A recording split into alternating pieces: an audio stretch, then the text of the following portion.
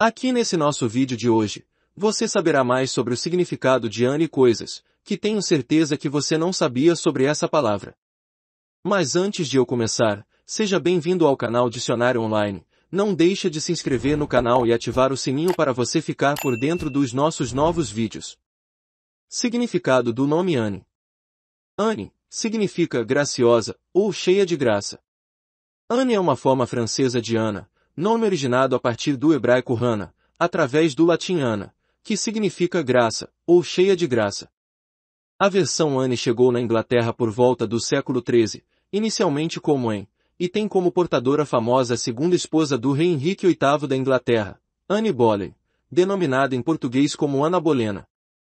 Além do francês, este nome é utilizado desta mesma forma entre os falantes das línguas inglesa, escandinava, finlandesa, alemã, holandesa e basca.